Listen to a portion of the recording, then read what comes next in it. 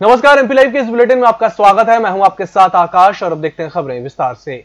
मुख्यमंत्री श्री कमलनाथ ने छिंदवाड़ा में अंतर्राष्ट्रीय आदिवासी दिवस पर आयोजित राज्य स्तरीय समारोह में कहा कि प्रदेश के अनुसूचित क्षेत्रों में रहने वाले आदिवासियों द्वारा साहूकारों से लिए गए सभी कर्ज माफ़ होंगे। इससे प्रदेश के डेढ़ करोड़ आदिवासी साहूकारों के कर्ज से मुक्त होंगे। उन्होंने कहा कि सभी नवासी अनुसूचित क्षेत्रों में ये कर्ज पंद्रह अगस्त तक माफ़ होना शुरू हो जाएँगे।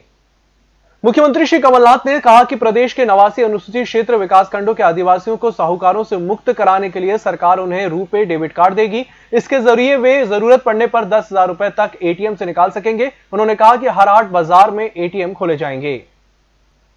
आदिवासी समाज में जन्म और मृत्यु के समय होने वाले रीति रिवाजों का सम्मान करते हुए श्री कमलनाथ ने मुख्यमंत्री मदद योजना का शुभारंभ किया। उन्होंने कहा कि आदिवासी परिवार में अगर बच्चा या बच्ची का जन्म होता है तो उस परिवार को 50 किलो चावल अथवा गेहूँ दिया जाएगा। मुख्यमंत्री ने कहा कि इसी तरह अगर किसी आदिवासी परिवार में मृत्यु होती है तो उस परिवार को एक क्विंटल चावल या गेहूँ दिया जाएगा। इस मौके पर खाना बनाने के लिए उन्हें बड़े बर्तन भी उपलब्ध करवाए जाएँगे। खेल मंत्री श्री जीतू पटवारी ने नई दिल्ली में केंद्रीय खेल मंत्री श्री किरण रिजिजू से मुलाकात की। श्री पटवारी ने वर्ष 2021-22 में मध्य प्रदेश को राष्ट्रीय खेलों की मेजबानी देने के संबंध में केंद्रीय मंत्री से चर्चा की। श्री जीतू पटवारी ने केंद्रीय मंत्री से मध्य प्रदेश में खेल सुविधाओं के लिए अधोसंरचना विकास परियोजनाओं को वित्तीय सहायता उपलब्ध कराने का आग्रह किया। उन्होंने कहा कि केंद्र के पास प्रदेश की अठहत्तर करोड़ की परियोजनाएँ वित्तीय सहायता के लिए लंबित है। जनसंपर्क मंत्री श्री पीसी शर्मा विश्व आदिवासी दिवस के अवसर पर शासकीय वाल्मीकि भवन में आदिवासी विकास विभाग द्वारा आयोजित कार्यक्रम में शामिल हुए। इस दौरान उन्होंने कहा कि आदिवासी छात्र छात्राओं को समस्त प्रकार की आवश्यक सुविधाएँ सरकार मुहैया कराएगी।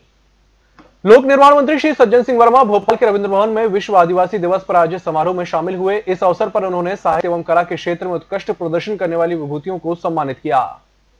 पंचायत एवं ग्रामीण विकास मंत्री श्री कमलेश्वर पटेल ने सीधी में विश्व आदिवासी दिवस पर आयोजित कार्यक्रम में कहा कि आदिवासी समुदाय देश की पुरातन संस्कृति की संवाहक है। उन्होंने कहा कि राज्य सरकार इन्हें विकास की मुख्यधारा से जोड़ने के लिए प्रयासरत है। लोक स्वास्थ्य एवं परिवार कल्याण मंत्री श्री तुलसी सिलावट अपने प्रभार के खंडवा ज़िले के बाढ़ प्रभावित आशापुर क्षेत्र में पहुँचे। श्री सिलावट ने बाढ़ पीड़ित परिवारों के घर घर जाकर मुलाकात की, प्रभावितों से चर्चा की और अधिकारियों को आवश्यक दिशा निर्देश दिए। श्री सिलावट ने पीड़ितों की समस्याओं के निराकरण आवश्यकताओं की तत्काल पूर्ति करने को कहा।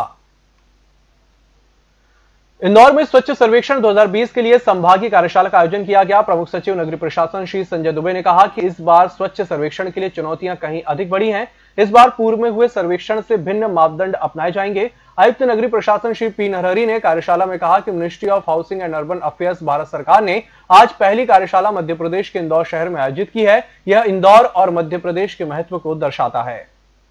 इस बुलेटिन में फ़िलहाल इतना ही। इसी के साथ मुझे दीजिए इजाज़त। नमस्कार।